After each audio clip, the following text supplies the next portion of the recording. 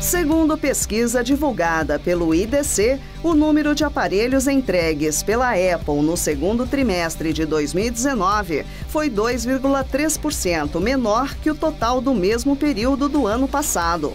Enquanto isso, a Xiaomi apresentou uma queda de 0,2%. Embora o cenário possa parecer negativo para a empresa chinesa, na verdade esses números a colocam a apenas 1,5 milhão de aparelhos atrás da Apple o que significa que em breve podemos ter a Apple caindo para a quarta posição no ranking das maiores fabricantes de smartphones do mundo.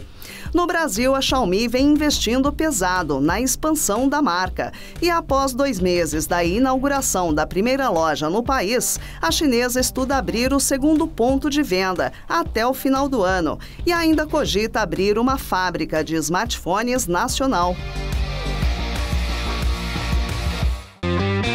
HostGator, seu site sempre no ar.